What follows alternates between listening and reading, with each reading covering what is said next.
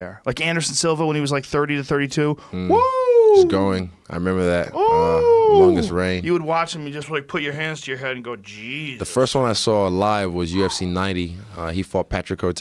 oh, that was an just- interesting one. Yeah, no, but like for me, that first very round, smart. but that first round, he used like probably seven different styles to just hit him, and then I keep saying he uses telekinesis on his knee. He just blowed it out. But like Patrick had a fucked up knee going into that fight. I think already, it's yeah, hard hard to tell, but it just seemed like it gave out. it was a good fight. It was a good Yeah. fight. Okay, he just stood on it and just like ah, Yeah, fucked up. I But, think like, he went to like throw a front kick and it just buckled on him Shit. and popped out. Yeah, no, but like that fight, that first round, the way he just handled him, I was like, that, Yeah. that's the guy. You know what? It, it really did open up the recipe to giving Anderson trouble, though, because Mm. the recipe to giving Anderson trouble, Thales Leites opened it up, and so Demian did. Patrick Cote. No, but, what the real key was don't engage because if you chase Mm. back. after him, he's gonna fuck you up. Like Counter think like. Forrest Griffin, all these different people that came at him. Uh, for sure, Chris Leben.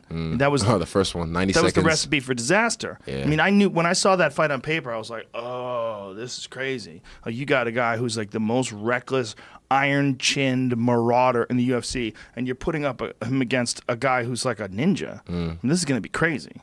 And this is a perfect fight. It was a Mm. Perfect fight in terms of like you want to see like the effectiveness Yeah. of like high level timing, speed, and perfect technique. Like, woo! Yeah, no, and the way he did it as well was clean. I think he only got hit once that fight. He landed like 100% of his shots Yeah. in that fight. Yeah. It was beautiful. It's crazy. And that's our style. I, I was a counter striker at first. That's when I started. I was always like, I'll wait for guys to come in. Here, here it is right here. Yeah, I remember calling this, and I remember Oh, telling shit. people because I was afraid. I was a fan of Anderson's from Look at that watching bounce. him fight I in love that England. Look at that jab. Oh. I was a fan of watching him fight in England in Cage Rage and watching him fight in Pride. And I, I remember saying this, ladies and gentlemen, this is a different kind of striker. Mm. Like this is this is one of the first times you got a high level. Look, look at the looks he's giving him as well. The shoulder feints, and the lightness frames, of his feet, man. The bounce, lightness. that bounce. He's on. People forget, man. Look how good he is. Ping. He's already. He's over. Yeah, ping, ping. Look at that. Come on, son. Waits for him to get up again. Yeah. And that knee. ping, ping, ping, Shit. ping, ping.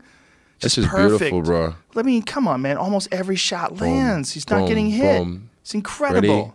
Boom. And it's over.